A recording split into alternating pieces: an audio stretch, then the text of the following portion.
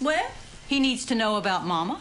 And they said that now that Mama was dead, that you and me are responsible. And if we sign the proper papers, we can get him out.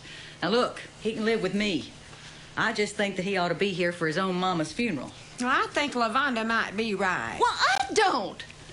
We can't have Brother Boy at the funeral. It'll be a spectacle. Mama's death is enough of an embarrassment without having Brother Boy at the funeral. And besides, in case you're forgetting, he's crazy. Brother Boy is not crazy. There's something wrong with him up here, and you know it. I'm not sure what's wrong with him is up there. The only thing wrong with him, if it's wrong, is that he likes to dress up like a woman.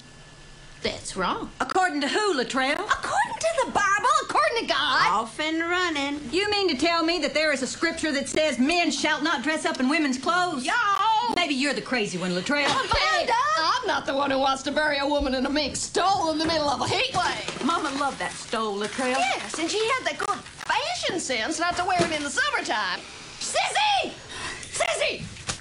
Say something! I thought you're on my side. I am not on anybody's side.